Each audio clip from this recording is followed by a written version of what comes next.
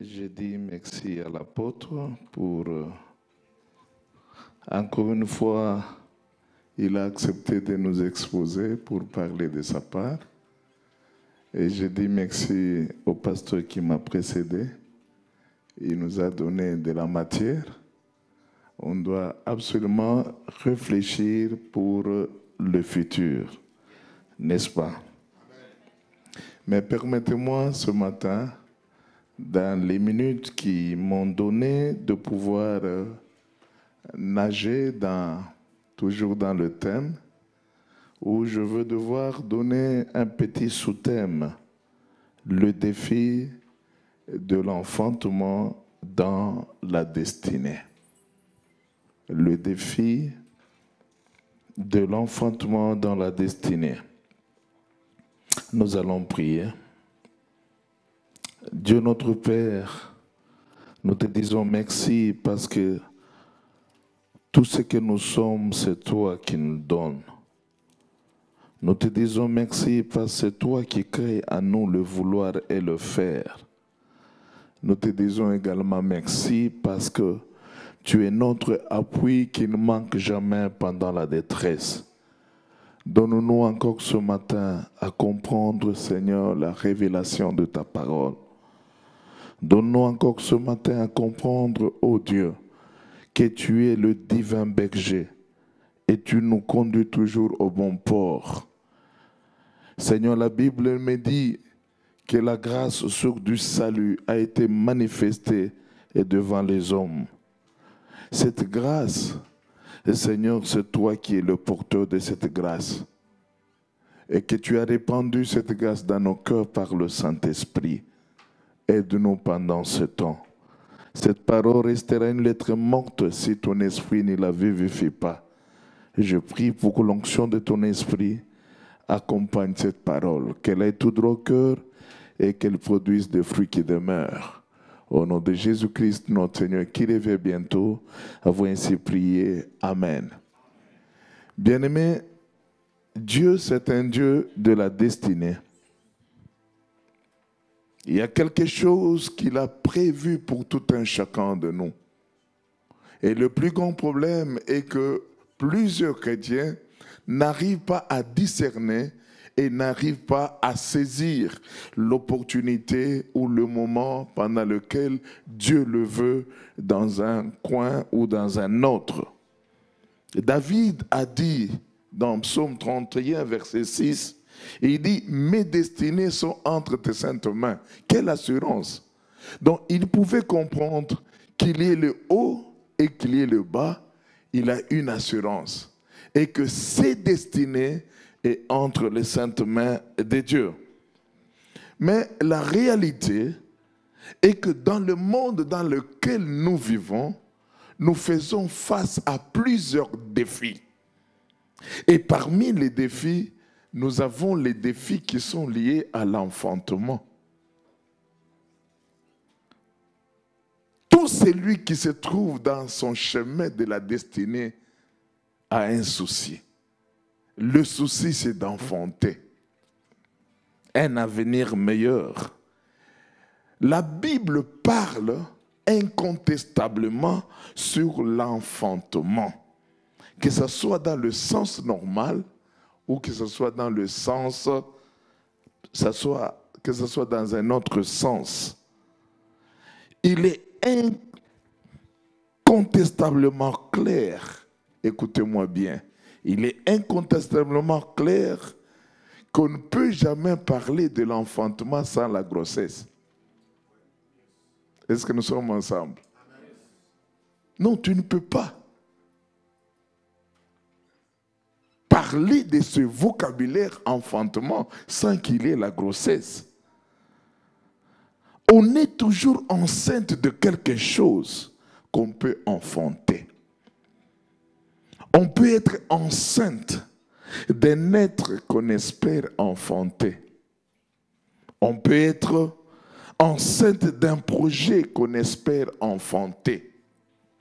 On vient de beaucoup nous dire des choses qui sont pourtant raisonnables. Qu'est-ce que tu peux enfanter dans un mois? Qu'est-ce que tu peux enfanter dans une année? Qu'est-ce que tu peux enfanter dans dix ans?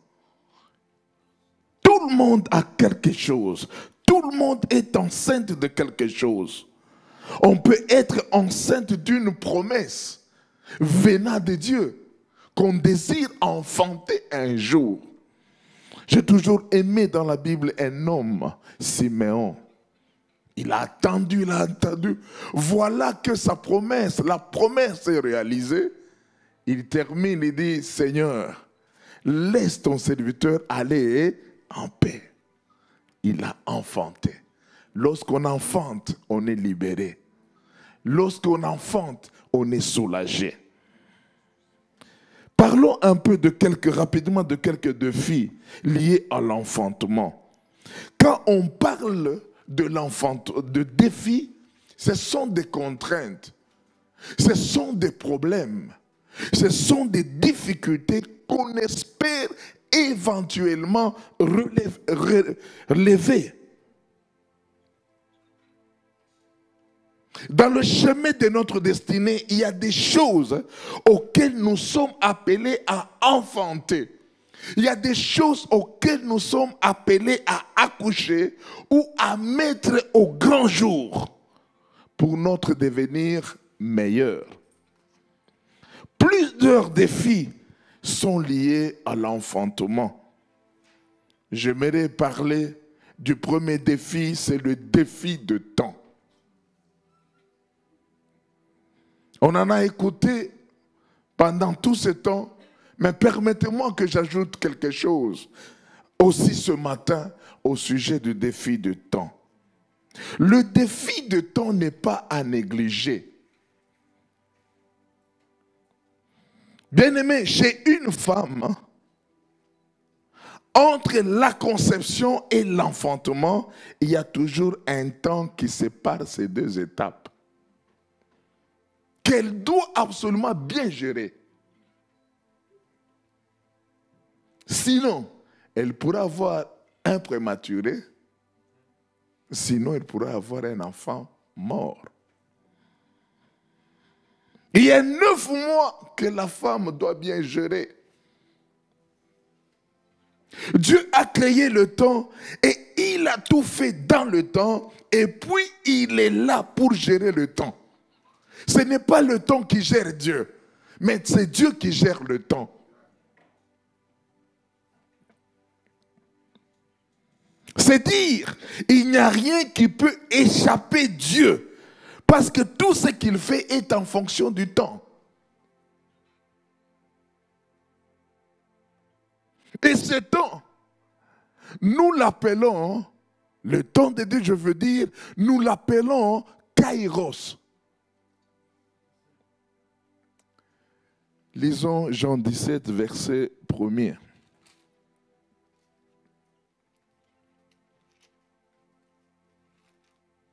Il s'agit de la prière de notre Seigneur Jésus.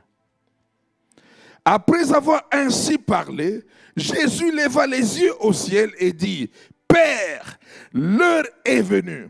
Glorifie ton Fils, afin que ton Fils te glorifie. Bien-aimé, quand Christ parle de l'heure est venue, il s'agit de Kairos. Père, le Kairos est venu, où la gloire que tu, m'as promis puisse se révéler à moi. Bien-aimé, quand nous prenons le mot heure, ça vient du mot grec qu'on appelle aura. Et de ce mot aura, nous avons deux racines.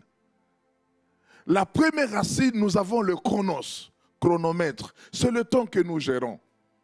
On vient de me donner une demi-heure, c'est le chronomètre.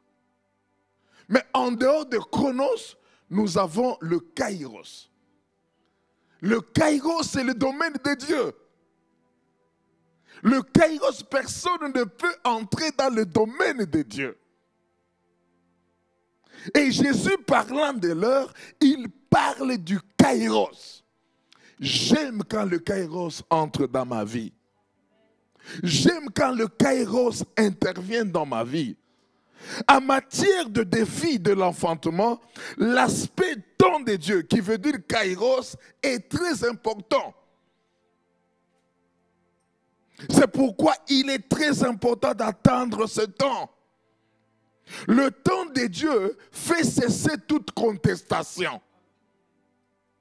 Les gens peuvent parler, peuvent parler, mais lorsque le temps de Dieu arrive, ça fait cesser toute contestation.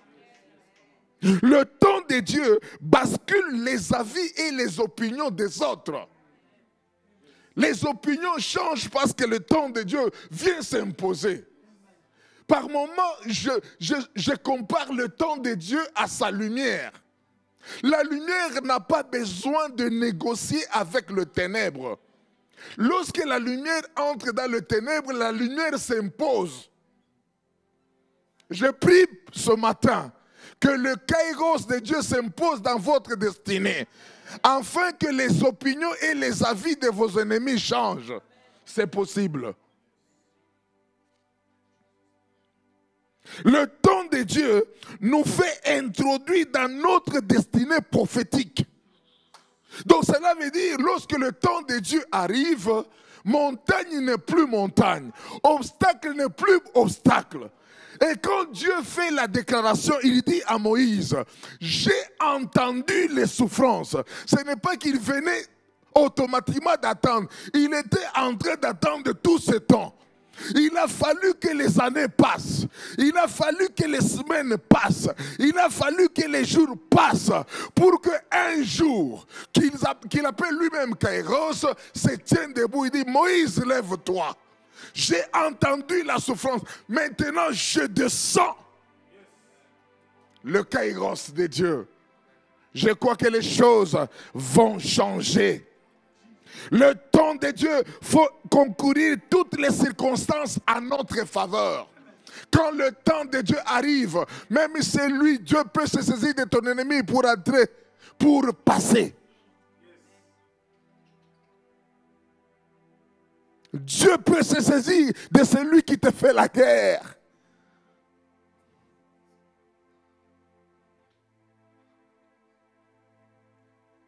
Ecclésiaste 3, verset 11 dit, Dieu fait toutes choses bonnes en son temps.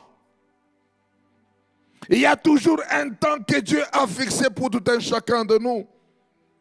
Ce qui nous bloque régulièrement, bien aimés, c'est la précipitation et le souci d'imiter les autres. Attendez le temps de Dieu. Même des gens qu'on peut parler des jumeaux, il y a toujours des différences quelque part.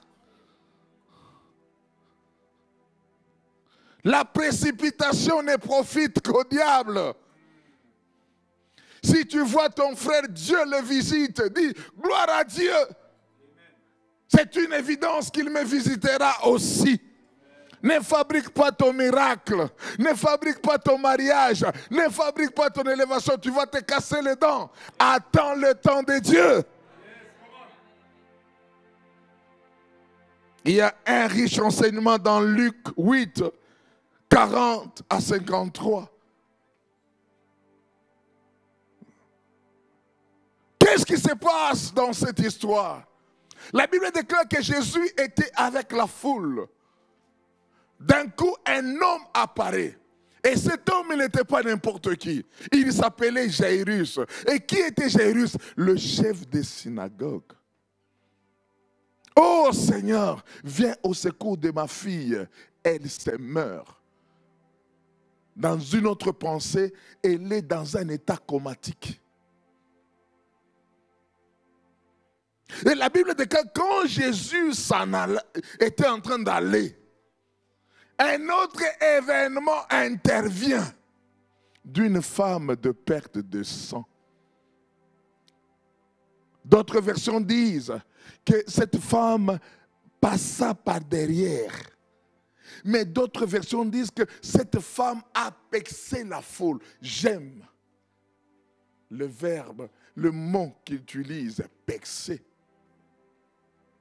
Pexer, c'est un terme militaire. Et quand on veut parler de pexer, cela veut dire créer par force une ouverture Lorsque le temps de Dieu arrive, tu seras attiré comme d'éléments auprès de celui qui bouge ta destinée. Jésus était en train de partir. Jésus n'a pas cherché la femme. Jésus n'a pas... Non, la femme a fait un mouvement. Je prie pour que ce matin, mon frère, crée une percée, crée une ouverture, afin de toucher le Dieu de la destinée, afin de toucher celui qui est capable de changer l'ordre des choses. La Bible déclare, j'ai aimé cette pensée. La Bible déclare que non, elle a tout dépensé au maître de médecin. Autre version dit qu'elle a terminé sa fortune entre les mains du médecin. Ce matin, c'est possible. Tu as fait des courses de gauche à droite, de gauche à droite. Mais ce matin, l'homme de l'ordre nouveau, Jésus-Christ, est en train de passer. Touche-le. La guérison sera authentique. La femme reçoit la guérison. Mais Jairus est à côté. Jairus ne se décourage pas. J'étais le premier à introduire la requête. Pourquoi il ne s'occupe pas de moi? Mais Jairus est à côté. Bien-aimé, quand dans l'église tu vois ton frère être touché par Dieu, continue à t'attacher toujours avec Dieu. C'est une évidence que Dieu va faire dans ta vie. Il marche, il marche, il marche. Quelqu'un survient et dit non, n'importe n'est pas le maître. Sa fille vient de mourir. Pour dire autrement dit que Jésus sera incapable de pouvoir ressusciter. Voilà les gens qui détruisent notre foi. Mais la foi de Jairus n'a pas été détruite. Mais j'aimerais sauter là en nous posant la question. Entre Jairus et la femme de perte de sang, qui était la première personne à introduire la requête? Hein? C'est qui? Et qui était la première personne à être guérie? Frère, ce n'est pas parce que tu as fait autant d'années ici au CEP que absolument Dieu va intervenir le premier pour toi. Chacun a son temps. Et ne soyez pas jaloux pour rien. C'est le problème de temps. Et chacun de nous a un temps. Je peux avancer. Bien aimé, la requête est entrée avant la mort de la fille de Jairus, mais l'exaucement est venu après la mort de Jairus. C'est dire qu'il y a certaines choses, Dieu attend que ça se meure en toi pour qu'il vienne. Il y a certaines choses qui doivent. Toi, ta part, c'est de prier. Soit ta part, c'est d'être comme un Jairus à côté. Seigneur, je ne vais pas te lâcher. J'ai vu comment est-ce que tu as guéri cette dame. Du reste, tu n'as même pas prononcé une parole. Cette femme t'a touché. Une puissance est dégagée de toi. Tu es capable. Qu'importe la nouvelle, qu'importe la nouvelle que ma fille est décédée, je connais. Et Jésus dit, non, cette fille n'est pas morte, elle se repose. Il y a d'autres choses qui se reposent en toi. Ça va enfanter. Ça va enfanter. Parce que tu es avec Dieu.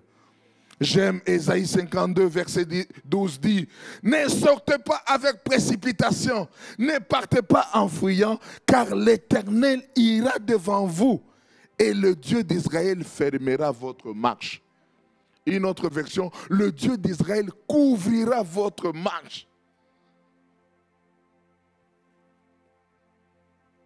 Le deuxième défi par rapport à l'enfantement dans la destinée, c'est le défi de la maturation.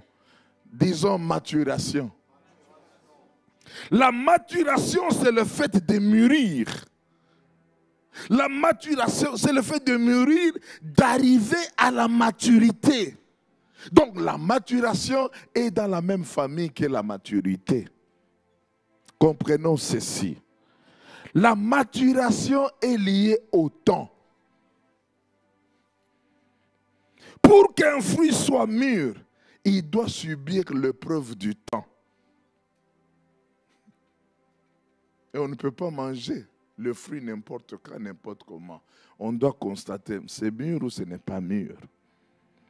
Pour qu'un bébé atteigne la maturation dans le sein de sa mère, il doit subir aussi l'épreuve du temps. J'aimerais nous parler surtout à nous, les serviteurs. Par moments, nous sommes pressés pour rien. Tu racontes des choses de fois qui ne sont pas correctes. On ne veut pas m'utiliser. Oh, et pourtant j'ai l'onction. Ferme ta bouche, assis-toi. Quelqu'un a raconté un jour, il y a un petit dans l'église qui faisait beaucoup de bruit. J'ai l'onction. Non, non, dedans, je... Oh, comme vous racontez là. Un jour, le pasteur, j'ai mal parlé. Nous connaissons, nous connaissons. D'ailleurs, nous donnons même le droit de corriger le pasteur responsable. Ici, si c'était moi, j'aurais dû changer la phraseologie. Hmm? Je sens qu'il y a quand même des... Ces derniers moments, c'est comme s'il n'est pas en prière. Je ne sens pas. Faites attention, frère. Faites attention. Alors ce jeune garçon-là, tellement ce pasteur avait trop écouté, il dit non, mon frère, aujourd'hui tu vas prêcher la parole. Ok, c'était un jour de la semaine. Le monsieur s'amène avec neuf Bibles.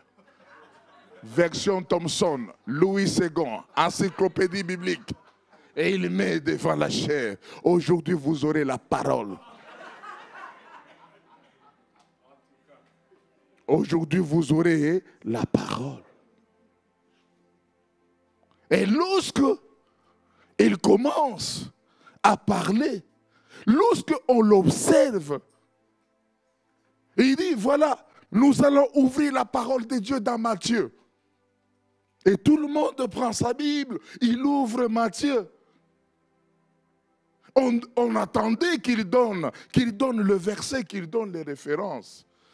Le petit bonhomme devant la chair commence à parler. Vous savez que Matthieu n'était pas n'importe qui. Matthieu était, tellement un homme excellent. Vous connaissez Matthieu oh, Le pasteur ne comprenait rien. Le gars vient de prendre dix minutes toujours en parlant sur Matthieu. Et le pasteur s'approche de mon frère, tu as trop parlé de Matthieu. Parle de ce que Matthieu a fait dans hein, la Bible. C'est pour dire que la précipitation ne profite qu'au diable. Si le pasteur ne t'utilise pas, cela veut dire que ton temps n'est pas encore là. Le pasteur peut faire semblant de ne pas te voir, mais il regarde que non, cette mangue n'est pas encore mûre. Il lui faut quand même un peu du temps. La maturation. Quand nous voyons une femme enceinte, le fœtus doit passer par plusieurs étapes pour atteindre la maturation. Psaume 132, verset 16. Voilà, ça c'est David qui dit, quand je n'étais qu'une masse informe, tes yeux me voyaient.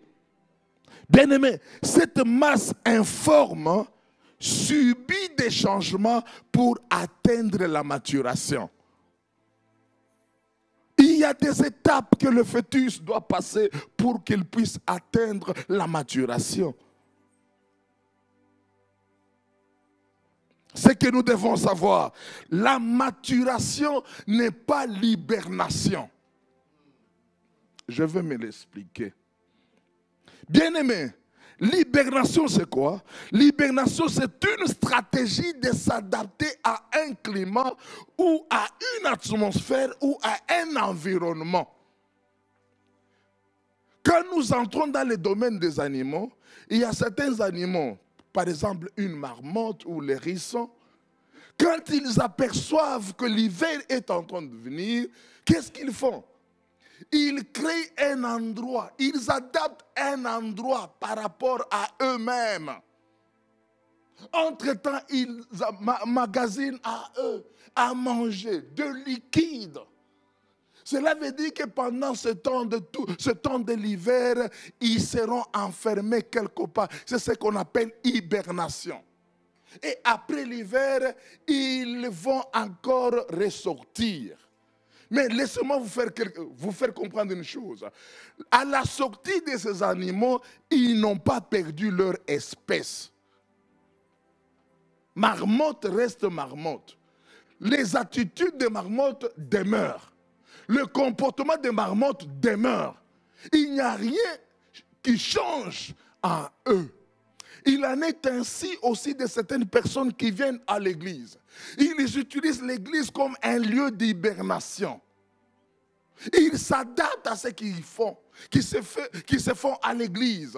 Ils chantent comme les autres, ils dansent comme les autres. Par moments, ils donnent aussi des dîmes comme les autres. Mais à eux, il n'y a pas le changement.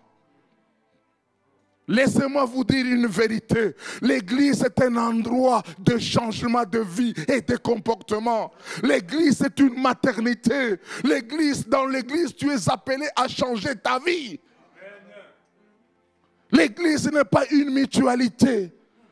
L'église n'est pas un endroit où tu peux te faire n'importe quoi. Non, nous devons changer notre manière de vivre. Aujourd'hui, on cherche à s'adapter. J'étais en train de... Hier soir, lorsque nous étions dans un véhicule avec un de nos petits qui nous conduisait, non, je n'arrive pas à comprendre. Il y a une culture que je, suis en train d'observer maintenant dans la ville de Kinshasa. Oh, demande à fiançailles. Vous allez remarquer qu'un jeune homme là, dans un restaurant qui s'agenouille, il est... Mais c'est quoi ça comme une histoire? C'est quoi ça comme une histoire? Tu ne te posteras que devant ton Dieu.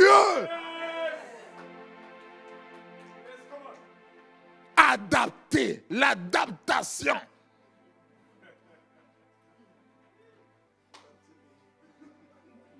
On a besoin du changement. C'est pourquoi nous, en tant que serviteurs de Dieu, il n'y a pas autre message que la repentance, le changement de vie.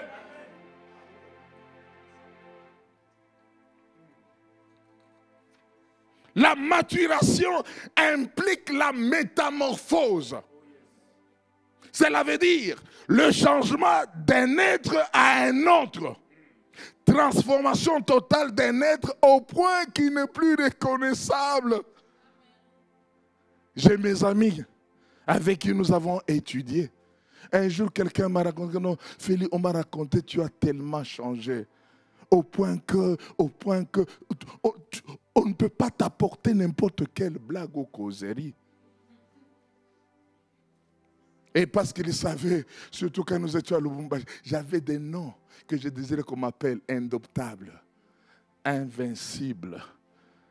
Dieu m'a aidé à reconnaître que le seul invincible, c'est lui-même. Tout, tout véritable enfant de Dieu doit manifester en lui la métanoïa. Le sens de changement. On doit voir la vie en toi. Le miracle de l'enfantement ne peut jamais venir sans le changement réel de votre vie. Jésus répondit à Nicodème dans Jean 3, 3, il dit, en vérité, en vérité, je te le dis, si un homme n'est né de nouveau, il peut voir le royaume de Dieu.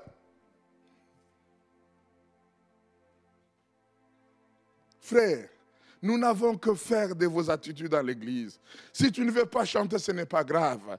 Mais sois réellement converti. Si tu adores, adore normalement parce que tu es converti. Et par moments, moi j'aime des gens qui adorent d'une manière folle dans l'église. Et vous sentez que comme quelqu'un qui adorait, qui adorait là, quelqu'un m'a raconté que non, il y avait un homme dans l'église qui adorait. Il ne savait pas bien parler français, mais il, il adorait de son cœur, au point qu'on l'écoutait. Seigneur, tu es 15.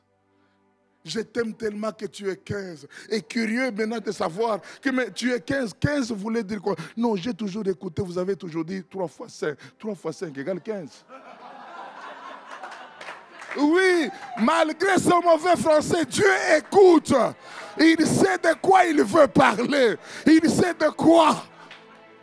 Être écouté par Dieu, ce n'est pas parler le bon français. Être écouté par Dieu, ce n'est pas les attitudes.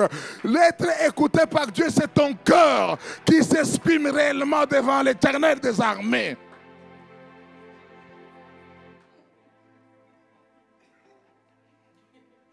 Le dernier défi, c'est le défi des épreuves.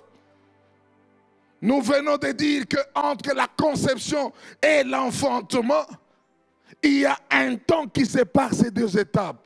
Et ce temps-là, c'est le temps d'épreuve. J'ai toujours aimé le pasteur Ntsembeka. De fois, il nous conseille, surtout quand on luttait avec notre ministère, notre appel. Il disait toujours deux choses qu'il y a toujours un temps d'appel. Il y a toujours un temps de révélation. Il y a aussi un temps d'accomplissement. Entre la, la révélation et l'accomplissement, il y a une vallée. C'est cette vallée que beaucoup de gens ne veulent pas passer. Toute grossesse qui vient de Dieu doit passer par le feu avant l'enfantement. On repère une femme enceinte par les attitudes qui sont propres à elle. Démarche. Et les démarches commencent à changer. Par moments, vous voyez maintenant la peau commence à changer avec des boutons. Nous avons l'habitude de parler de masque. Des vomissements des changements de peau, choix, choix de manger. Je me souviens quand mon épouse avait la première grossesse, un jour elle m'a réveillé à minuit pour aller lui chercher quelque chose. J'ai essayé un peu de discuter, mais non, mais c'est toi l'auteur. Les attitudes. Bien aimer quelqu'un, qui est enceinte de quelque chose, on saura comprendre. Même si tu ne dis pas que tu es appelé, on saura comme non, ce jeune garçon est appelé par l'éternel. Tu n'as pas besoin que tu puisses te taper la poitrine pour qu'on te voie avec des, des faux prophéties, avec des choses. Non! Restez dans le banc. Il viendra te chercher comme il a fait avec David. Aujourd'hui, nous sommes dans le monde de la précipitation.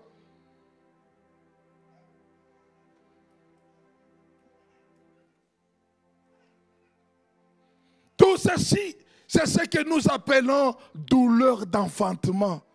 La maman est en train de ressentir une douleur, mais une douleur qui va l'amener à enfanter un enfant. Il y a toujours une douleur que tout enfant de Dieu doit éprouver avant l'enfantement. Romains 8, 22 nous dit ceci. Or, nous savons que jusqu'à ce jour, la création tout entière soupire et souffre les douleurs de l'enfantement. Pour que Jacob enfante sa destinée, il devait subir la douleur. Regardez sa lutte dans Exode 32, 24 à 32. Il luttait avec quelqu'un, un homme. Il s'est senti moins fort que lui, jusqu'à ce qu'on lui a frappé à l'emboîture. Quel est ton nom? Mon nom c'est Jacob. Mais Jacob, je ne te laisserai point sans que tu m'aies béni la douleur. La douleur. Par moments, il faut expérimenter ce temps de douleur. Notre Dieu, le Père de notre Seigneur Jésus-Christ, a exprimé aussi cette douleur. L'homme a péché. Sa créature a péché. Mais de l'autre côté, il y avait aussi un problème. Il était un Dieu de justice. Comment il pouvait résoudre ces problèmes Dieu a exprimé la douleur en donnant son Fils unique pour le salut de l'humanité. Ce n'était pas facile.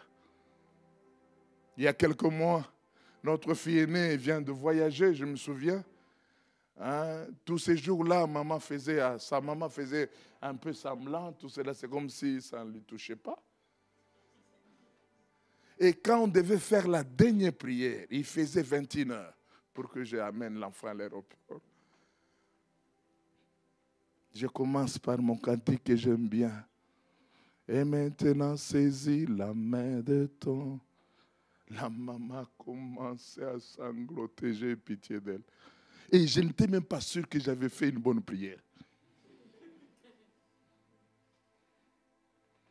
Douleur, douleur. Moi, je fais semblant. Je l'ai amené.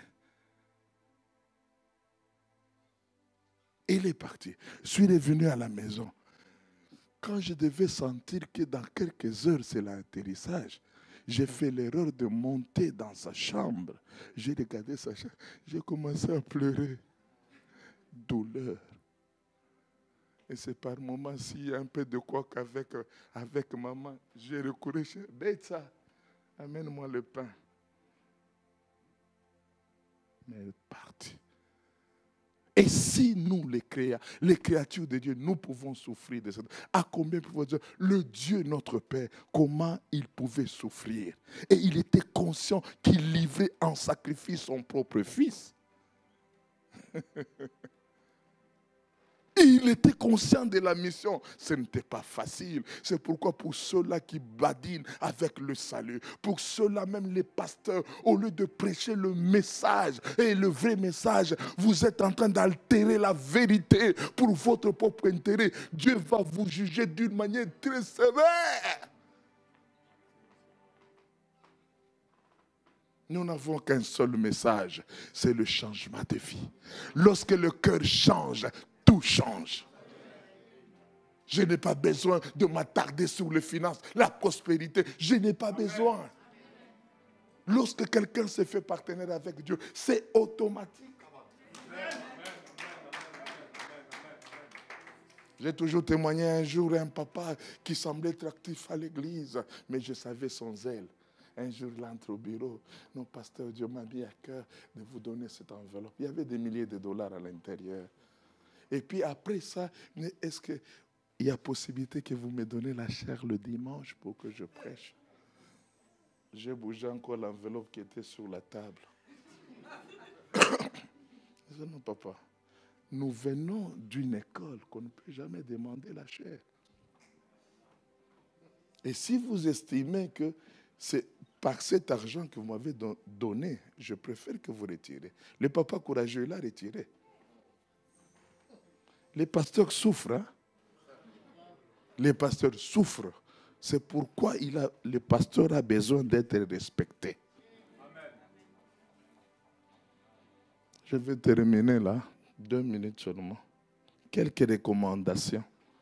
La vie chrétienne est une marche. Une marche vers laquelle tout chrétien est appelé à enfanter quelque chose selon sa vocation. Et cette marche implique premièrement la patience. La patience, c'est une qualité, le pasteur qu'elle l'a dit hier, la patience, c'est une qualité qu'il faut, qu'il ne faut jamais manquer dans la vie en tant que chrétien. Il faut chercher de marcher au pas de Dieu. Jacques nous le dit dans Jacques 1, 2 à 5.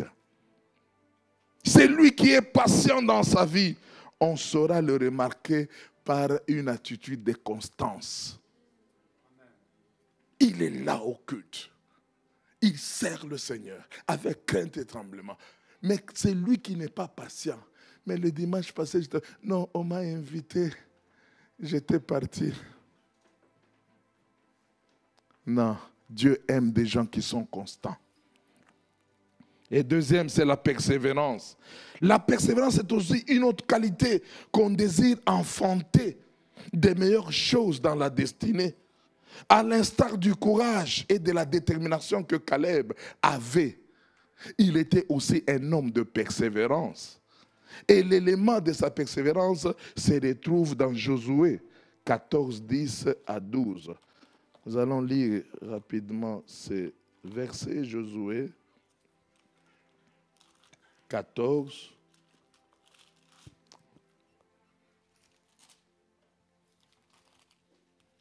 Voilà ce qu'il est dit. Oh, je disais Josué. Voilà.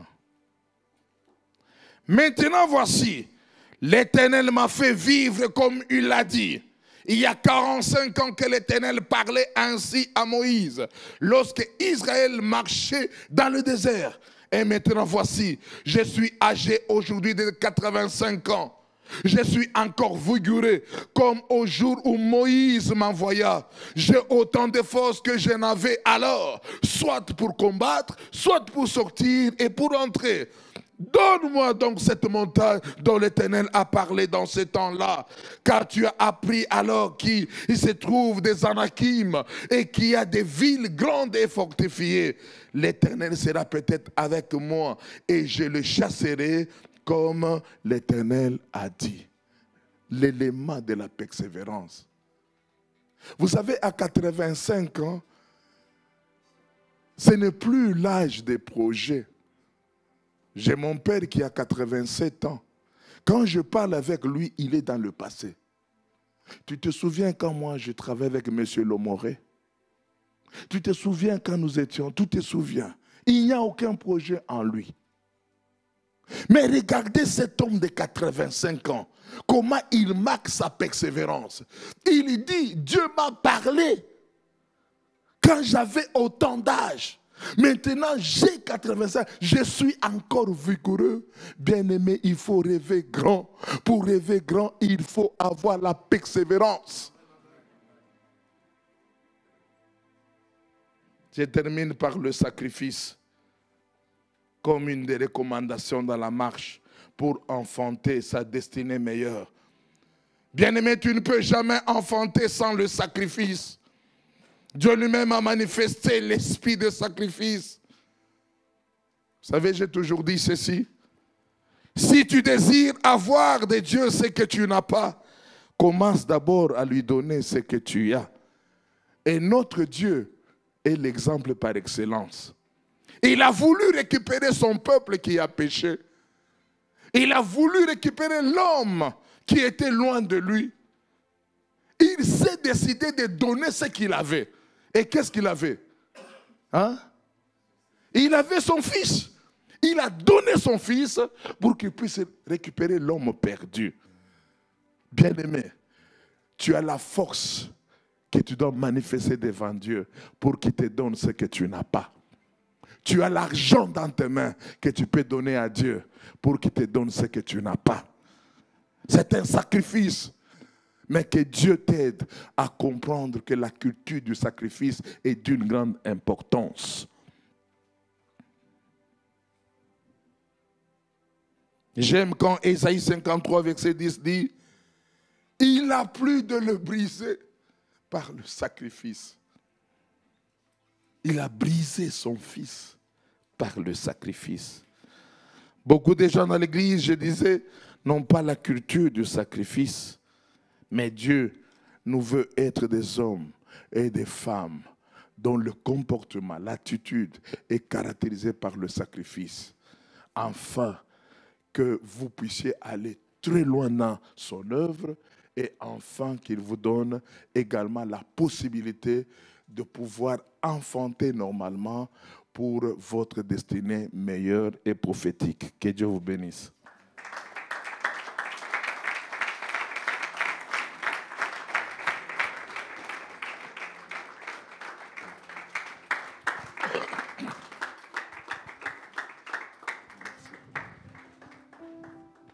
Peut acclamer encore le Seigneur plus fort que ça Alléluia.